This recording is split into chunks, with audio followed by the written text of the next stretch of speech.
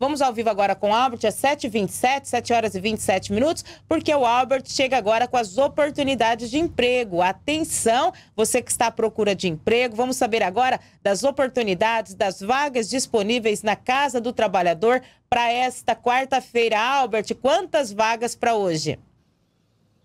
Oi, Ana. Hoje são 91 oportunidades, viu? 91 oportunidades para você que está fora do mercado de trabalho.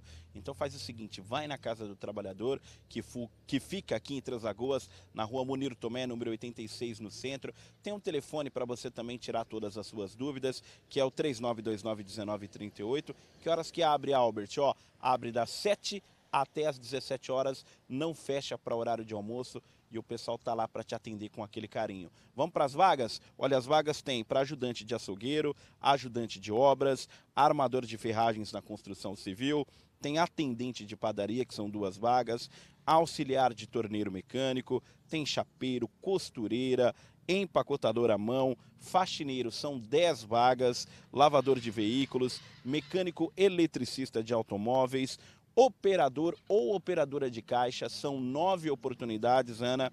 Pedreiro são 15, repositor em supermercado são 3 e servente de obras são 15 oportunidades, portanto procura a Casa do Trabalhador, Rua Monir Tomé, número 86, no centro.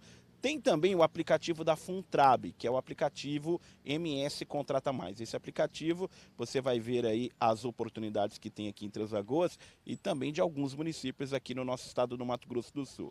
Então é só você baixar no seu celular aí, procura lá MS Contrata Mais e aí você vai ficar por dentro aí das vagas de emprego não só de Lagoas, mas também de alguns municípios. Além disso, esse aplicativo aí você pode agendar o horário para ir até a casa do trabalhador. Vai ser atendido aí com hora marcada. Então dá mais comodidade, então procura aí né, o aplicativo MS Contrata Mais para você ficar por dentro. Beleza, Ana? São 91 oportunidades para esta, para esse pro dia de hoje aqui da Casa do Trabalhador.